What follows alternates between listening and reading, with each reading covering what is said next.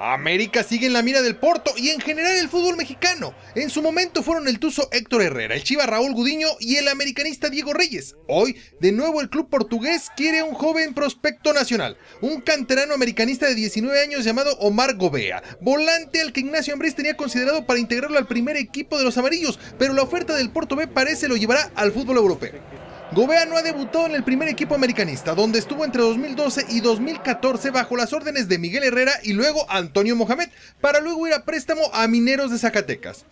Gobea fue seleccionado nacional sub-17, disputó el Mundial de 2013 y su constancia había logrado que se tuviera considerado para integrarse con el plantel mayor de los emplumados, pero la oferta del Porto a préstamo con opción a compra está aún triste de cumplirse para que el chico siga los pasos de otros jugadores nacionales con destino al Porto.